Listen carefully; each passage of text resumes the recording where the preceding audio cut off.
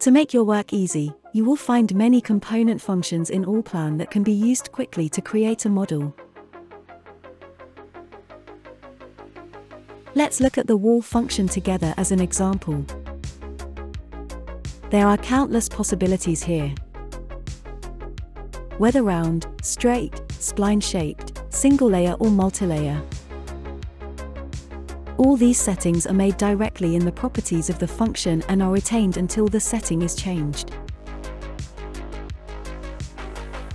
To do this, you can select walls from the assistant or create favorites.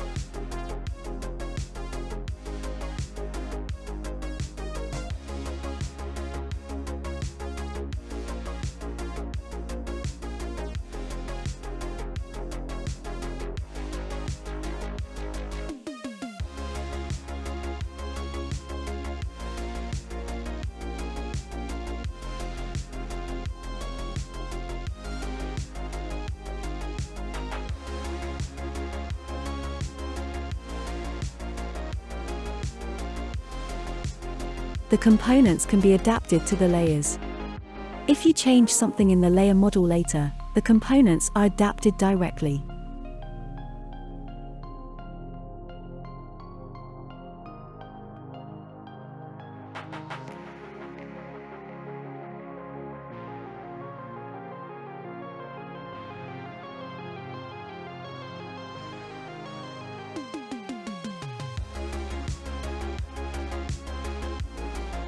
Modifying the components is also quickly done using the handles.